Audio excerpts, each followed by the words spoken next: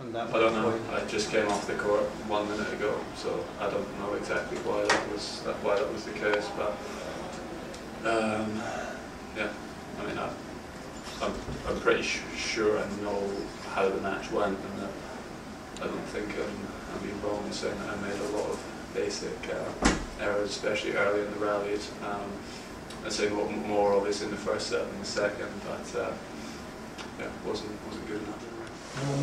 Okay, or? Yeah, I mean, I felt I felt fine. Um, you know, I felt yeah, I felt okay. I was uh, I felt bad um, when I went on the court. I definitely say I was I was a little bit sluggish at the beginning of the match. Um, you know, but in, in the second set, I definitely started to, to move a bit better and, and play a little bit better. But um, yeah, I started the match not good.